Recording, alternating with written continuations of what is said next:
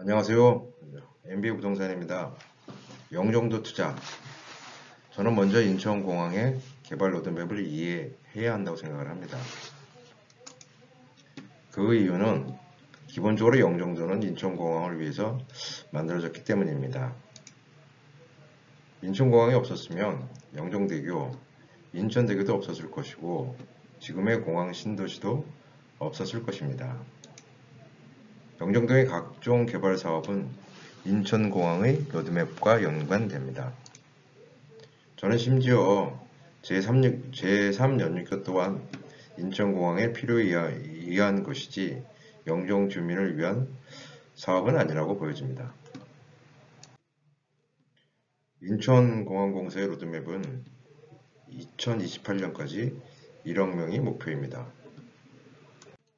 하지만 KDI의 분석에 따르면 한국 경제의 성장률은 계속 둔화될 전망입니다. 그러면 어, 인천공항공사의 1억 명 목표는 어떻게 달성될 수 있을까요? 한국의 관문에서 동시에 최종 목적지로의 변신 인천공항공사는 물류사업, 관광사업, 항공지원사업, 첨단, 첨단 산업 유치 사업을 통해서 뭐 이런 목표를 달성하려고 하고 있습니다. 물류 같은 경우 어, 최고의 네트워크와 인프라, 아시아 최고의 화물공항을 지향하고 있습니다.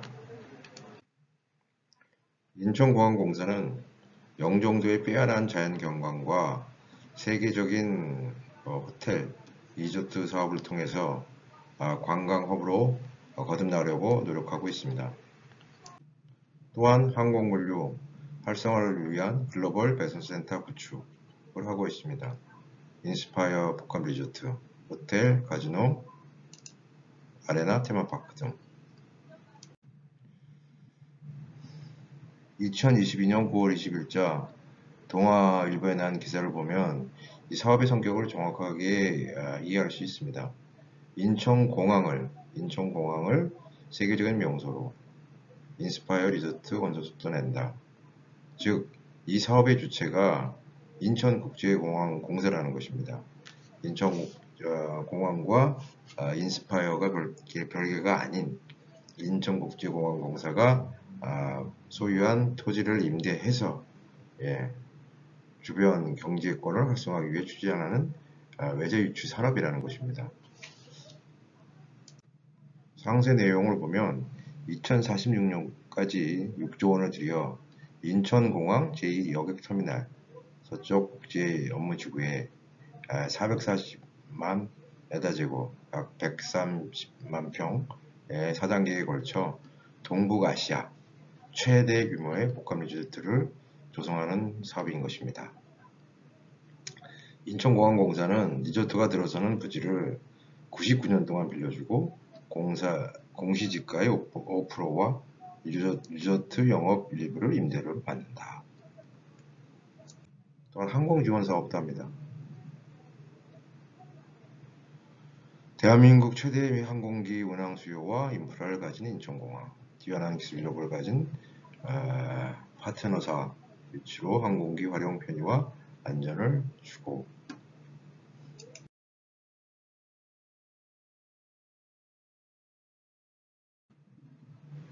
첨담산업단지, 첨담산업의 생산거점 확보, 실질적인 경제활동의 중심, 전자부품, 바이오, 의약품 제조 등 항공운수 필수산업 집중 유치로 첨단 산업 기반 경제 활성화 및 인천공항 항공수요 창출.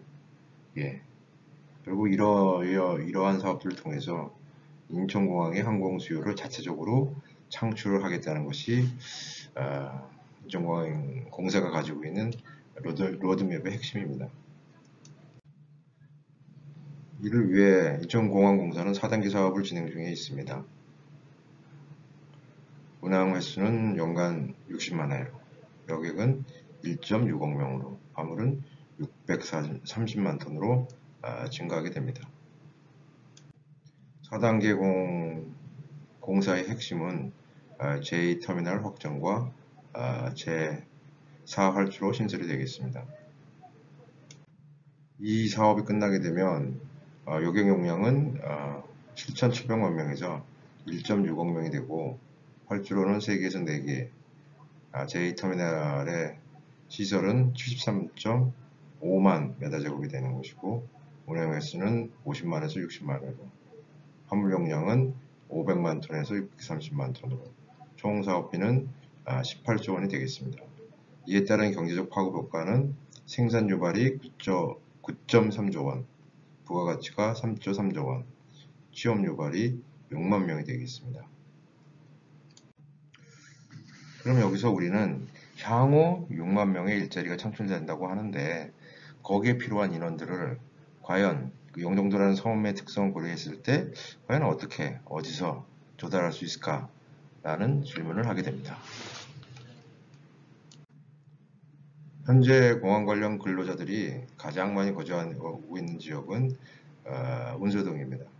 운소동은 행정구역상 이렇게 넓은 구역이 되겠지만 어, 공항 관련 시설을 제외하게 되면 실제 거주할 수 있는 지역은 얼마 되지 않습니다. 어, 운수역을 기점으로 해서 어, 이쪽에 예, 집중해서 거주하고 있습니다. 현재 영종도의 총 인구수는 10만 아, 명 정도 됩니다. 그 중에서 3만 명 정도가 3만 아, 명이 운서동에 거주하고 있고요. 보게 되면 전입 인구수는 만, 만 명 정도, 그 다음에 전출 인구수는 한 9천 명 정도에서 연평균 중감률을 7.43%를 기록하고 있습니다. 그러면 운서동 3만 명 인구에 대한 연령대별 점유율을 보겠습니다.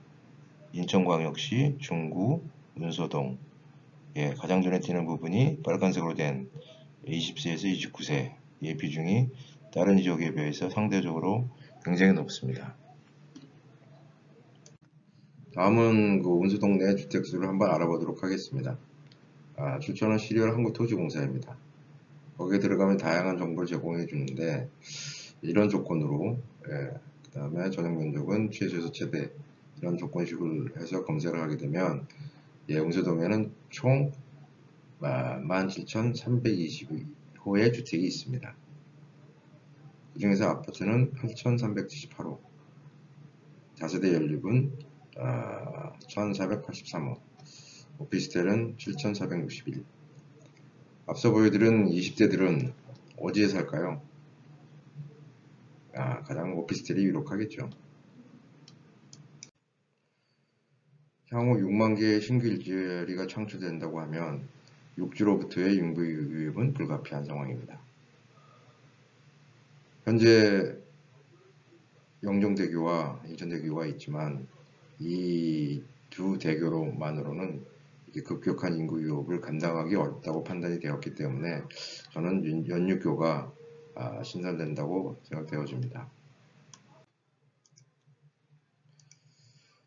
요점 정리하겠습니다. 인천공항공사는 2028년까지 이용객 1억 명 유치 목표로 단순한 운송사업뿐이 아닌 관광, 물류, 항공지원, 첨단 산업 유치사업 등을 진행하고 있으며 이에 따른 6만 명의 신규 일자리 창출로 영종도 내의 주택 수요는 빠르게 증가하여 조만간 수요가 공급을 초과하는 상태가 될 것으로 전망됩니다.